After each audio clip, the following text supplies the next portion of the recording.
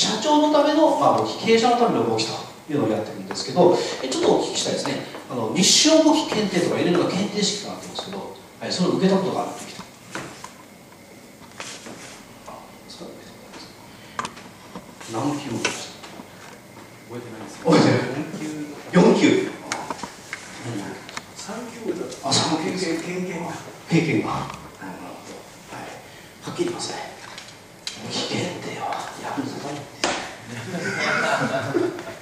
社長のためで。はあれ従業員のための検定なんですよ。だからあのいらない知識もいっぱいあるんですあれ。実は。で、えーあれ根詰めてあの合格しようと思うとかなりきついんですよ実は。あの平成13年からものすごく難しかったんで。えー3級で難しい時5.7%だからね。3級ですよね。国家試験じゃないんですよ。